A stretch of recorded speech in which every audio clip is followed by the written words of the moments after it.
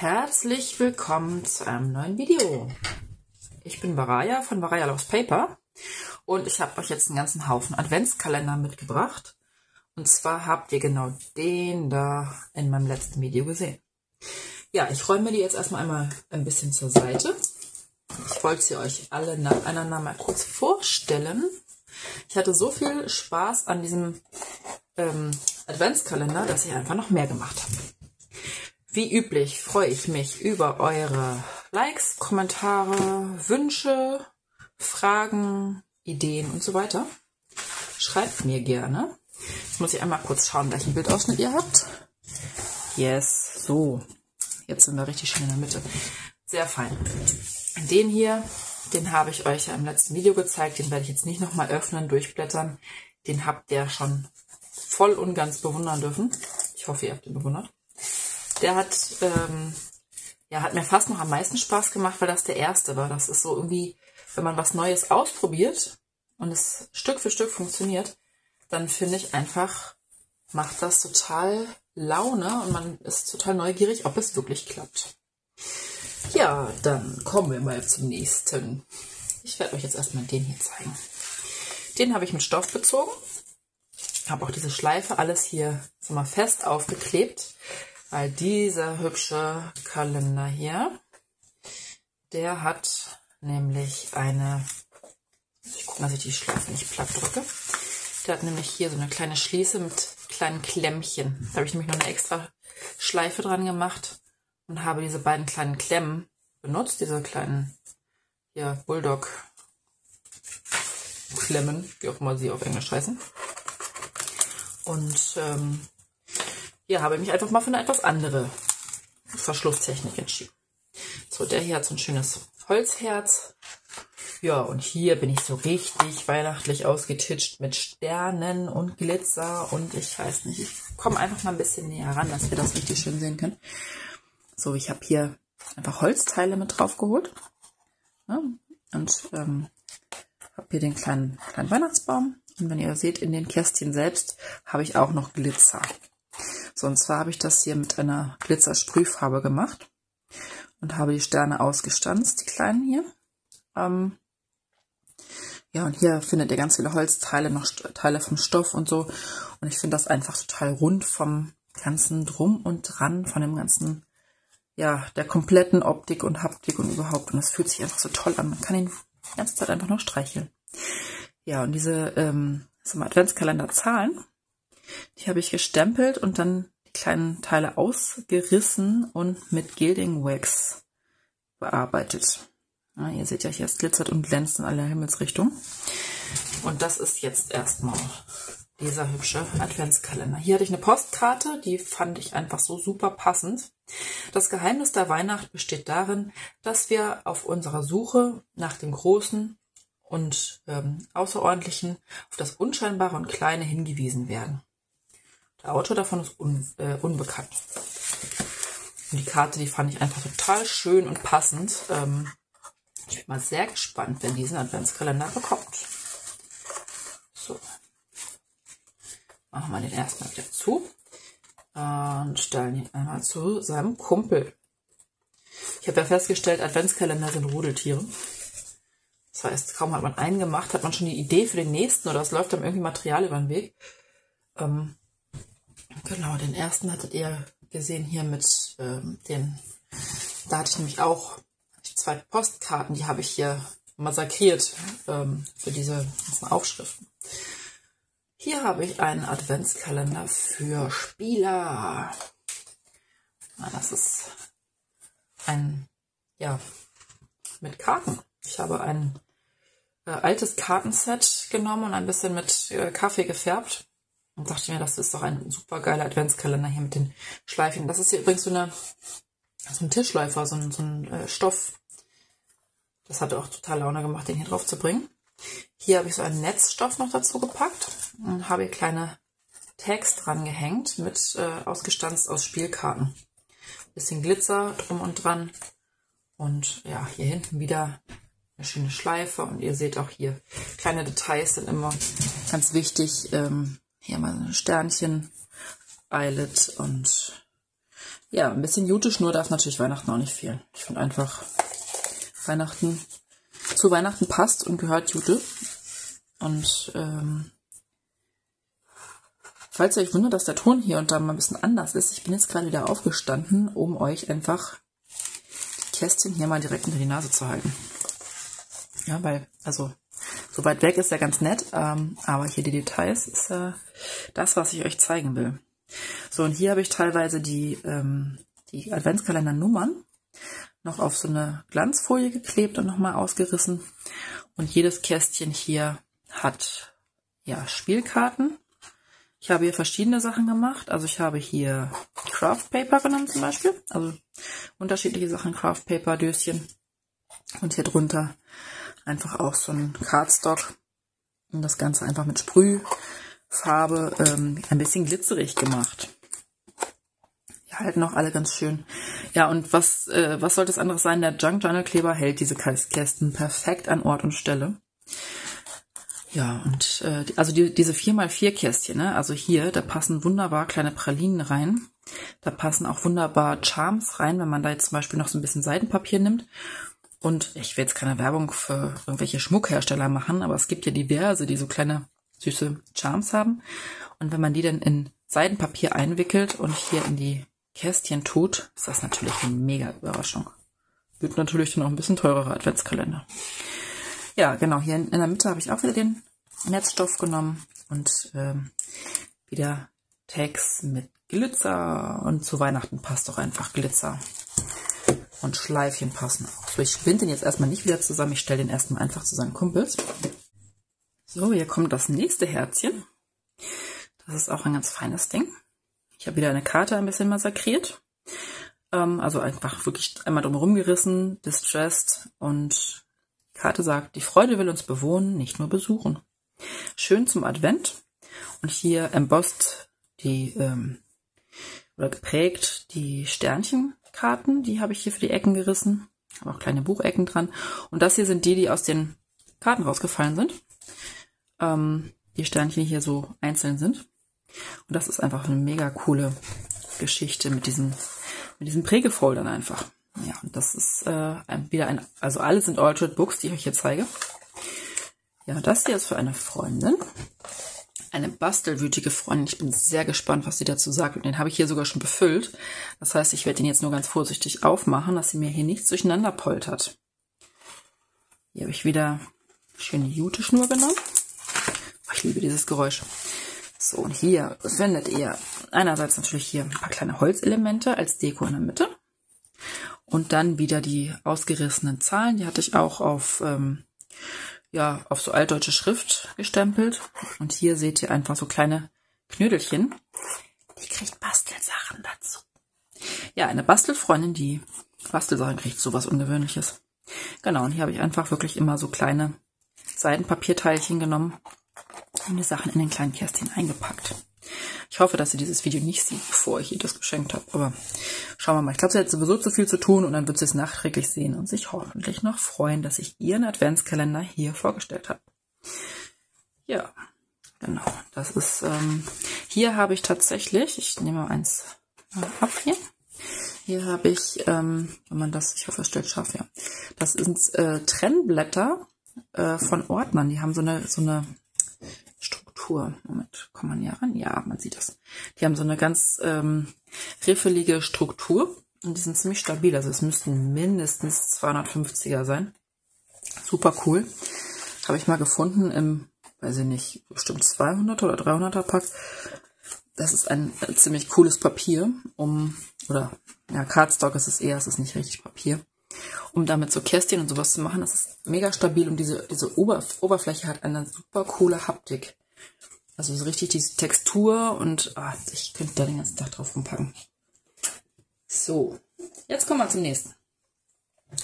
Hier haben wir wieder ein stoffbezogenes Schatzi. Das ist für eine andere Freundin. Also wer sich jetzt irgendwie ausmalt, das könnte beim Etsy-Shop auftauchen.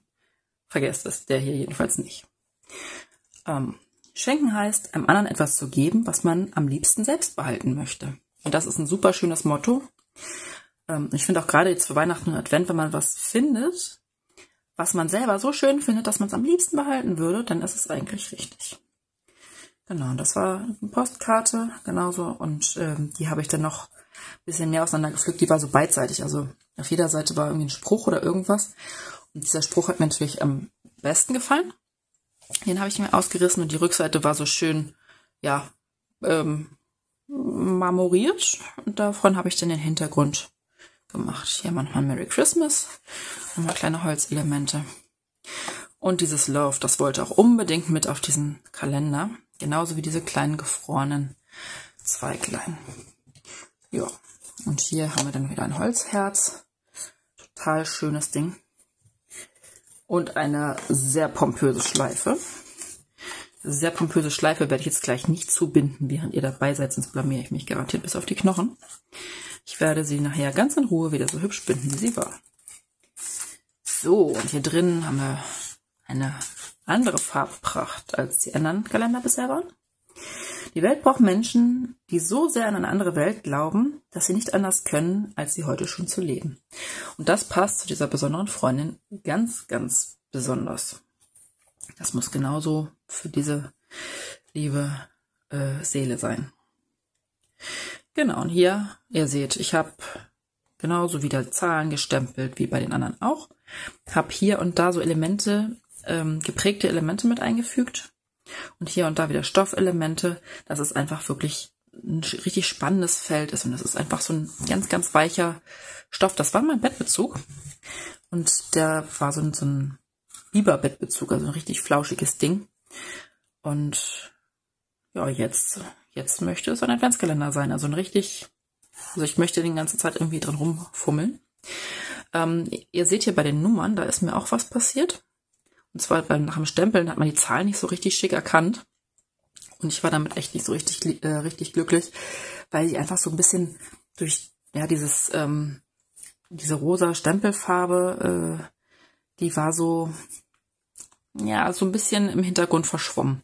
Und dann habe ich immer meinen ganz feinen 0, äh, 005er ähm, Feinliner genommen und habe sie nochmal umrandet.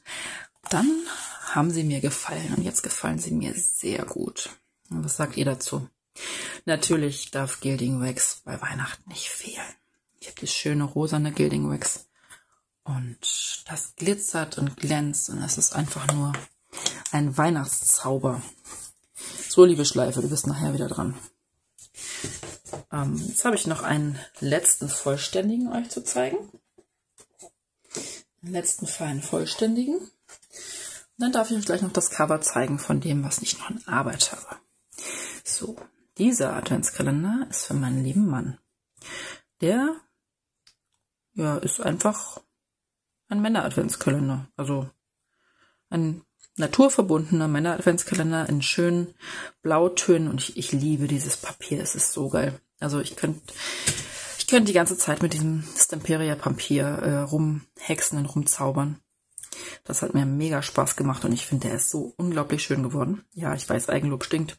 Darf man mal machen. Ähm, Nochmal, ich habe alle meine Adventskalender übrigens hier noch mit Mod Podge versiegelt. Also selbst wenn man hier mal irgendwie was drauf rumpackt oder jeder grabbelt den an oder sowas, überhaupt nicht schlimm, kann man abwischen. Mod ist ein cooles Zeug. Ja, und ich habe auch hier die ähm, Buchecken, Buchecken, habe ich auch so ein bisschen mit Gilding Wax noch angefärbt. Ähm, so, der, der der Buchrücken ist doch einfach mal cool geworden. Ne, auch hier bin ich mit Gilding Wax nochmal drüber und habe das so ein bisschen dunkler gemacht. Also mit dem Anthrazit Gilding Wax. Und ja, habe auch hier, bin mit dem Gilding Wax um, um alle Kanten drumrum und habe auch hier nochmal so eine Risskante mit eingebaut. Also ich finde einfach, mal abgesehen davon, dass ich Blau total liebe, ist dieser Adventskalender voll schön geworden. So, jetzt haben wir hier eine kleine Schleife. Da ist ein bisschen Draht mit drin in diesem Schleifendings, deswegen ist sie so ein bisschen widerborstig. Aber der wird ja meistens dann gar nicht mehr zugebunden wird, bevor man ihn wieder hinstellt. Also ich kann mir gut vorstellen, dass der einfach mal so offen und schick auf dem Tisch liegt und ähm, man sich dann da freut, jeden Tag hier so ein kleines Kästchen zu öffnen. Ne? So, das zeige ich euch jetzt einfach nochmal näher. Also dieses Papier ist einfach nur der Wahnsinn. Und ich freue mich auch, dass die, die türkise Farbe von meinen Kästchen hier richtig schön durchkommt. Also man sieht sie in der Kamera tatsächlich fein. Und hier habe ich mega Arbeit reingesteckt. Ähm, mal abgesehen davon, dass man die Kästchen ja faltet und macht und tut und den ganzen, das ganze Cover hier gestaltet mit den kleinen Teilen. Ähm, ich habe hier die Kästchen gemacht, ne? Also ihr seht auch hier so ein bisschen Doily mit äh, auch der Zahl, die auch noch schön besprenkelt ist und alles. Aber aus dem Rest des Papiers habe ich hier äh, ein paar Kreise ge gestanzt. Und in den Kästchen, habe ich natürlich gemacht, bevor ich die gefaltet habe, in den Kästchen findet ihr dann nochmal gestempelte Sternchen. Und dieser Adventskalender ist einfach mal mega. Also ich, ich würde ihn so gerne selbst behalten, aber irgendwie ist das, ja, wenn ich mir einen Adventskalender selber befülle, ich weiß nicht, Schon ein bisschen komisch, oder? Dementsprechend, ich werde ihn verschenken. Ich werde ihn mit kleinen Pralinchen füllen. Ganz leckere, feine Sachen habe ich gefunden. Und ich werde mich auch jeden Tag daran erfreuen, dass sich mein Mann freut. Ich hoffe, er freut sich. Nein, ich bin mir ziemlich sicher, dass er sich freut, weil er so, er liebt Schokolade und er weiß auch, wie sehr ich ähm, meine Bastelsachen mag und wie sehr Spaß es mir macht und deswegen bin ich mir ziemlich sicher, dass er sich über seinen Adventskalender auch sehr freuen wird. Ja, das war der Männer-Adventskalender. Und den stelle ich mir jetzt auch wieder hier zur Seite. Jetzt zeige ich euch nochmal das Schätzchen, was hier in Arbeit ist. Und zwar bekommt den hier meine Oma. So, nee, ich, irgendwie, ich muss doch wieder aufstehen. Dann sehe ich, was ihr seht. Das ist das äh, gefällt mir besser. Jedenfalls heute. So, also hier habe ich wieder schön geprägtes Papier genommen. Mit Gilding Wax. Und das Papier habe ich vorher, das war einfach so ein langweiliges Grau. Und das habe ich mit ähm, Silber und blauen Sprenkeln besprüht. Und dann mit diesem rosa Gilding Wax bearbeitet. Mini-Buchecken dazu. Und ich finde einfach, das rosa Gilding Wax, das passt zu, diesen, zu dieser Buchfarbe einfach nur so genial. Ja, und hier habe ich die schöne Seiden ähm, genommen. Ja, ein frommer Zauber hält mich wieder. Anbetend staunend muss ich stehen. Es sinkt auf meine Augenlider. Ein goldener Kindertraum hernieder. Ich fühl's, ein Wunder ist geschehen. Von Theodor Storm. Ja, und da ich weiß, dass meine Oma deutsche Dichtung sehr gerne mag und einfach diese Karte hat sich so schön in diesen Hintergrund eingefügt. Na, hier seht ihr für Oma. So. Da hinten habe ich noch so einen kleinen Filigree dran. Und hier seht ihr auch nochmal hier die, die schönen Sprenkel, die hier in diesem Papier sind und wie fein das hier rauskommt. Gut, innen ist es jetzt noch nicht so spektakulär, da fehlen jetzt natürlich die Kästchen. Die sind auch aus diesem gesprenkelten Papier. Die muss ich allerdings noch fertig machen. Ja, und mal gucken, ob ich euch das Ding hier nochmal in fertig zeige. Ihr könnt mir einfach mal schreiben, ob ihr den auch noch in fertig sehen wollt oder ob ihr jetzt einfach die Nase voll habt von Adventskalendern. Würde ich euch nicht verübeln, weil ähm, waren ja jetzt auch einige, ne? Genau. So, und jetzt habe ich hier meine ganze feine, tolle Sammlung an riesen Advents-Zauberspaß mit euch geteilt. Ähm, ich wäre echt super gespannt, was ihr dazu sagt. Also ich würde mich echt mega freuen, von euch zu hören, ähm, ob und wie euch die gefallen haben. Auch welcher von denen euch am besten gefallen hat.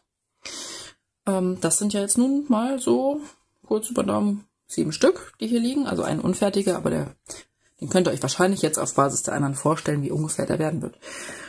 Also sechs fertige, ein unfertiger und Mann, das war ein echter Spaß. Jetzt ist noch nicht mal November. Was machen jetzt den ganzen November lang? Naja, ihr werdet es wahrscheinlich mitverfolgen, was ich dann tue. Mein Adventskalender Riesenzauberspaß ist für heute vorbei und ich bedanke mich bei euch fürs Zuschauen und ich würde mich echt mega freuen, wenn ihr mir mal sagt, welches von diesen Adventskalenderherzchen ihr am coolsten fandet oder vielleicht auch welches ihr nicht so schön fandet oder eher langweilig. Ja, schreibt mir doch mal was. Ich freue mich schon aufs nächste Video und ähm, ich freue mich auch über neue Abonnenten. Das sind immer noch relativ wenige. Falls ich euch zu langweilig bin oder zu langsam rede oder zu schnell, äh, ganz ehrlich, dann schreibt mir das bitte auch. weil ich mir selten selber zuhöre. Ähm, also immerhin höre ich mir natürlich meine Videos mal in Kürze an, wenn ich hier und da gucken will, was ich wo gemacht habe. Aber ich höre mir natürlich nicht so ein komplettes Video von vorne bis hinten an. Ähm, ich habe es ja selber gedreht, ich war ja live dabei. Deswegen interessiert mich eure Meinung. So, genug gesabbelt. Ähm, habt ein feines, tolles Bastelwochenende. Jetzt ist Samstagmorgen, wenn ihr dieses Video seht. Und, oder beziehungsweise wenn es rauskommt. Ob ihr es gleich seht. Viel Spaß beim Basteln. Vielleicht habt ihr ja Bock, sowas mal nachzumachen. In meinem ersten oder meinem letzten Video von diesem hier ähm, habe ich euch verlinkt, wo ich diese Idee hier habe. Könnt ihr spicken. Bis demnächst in diesem Kino.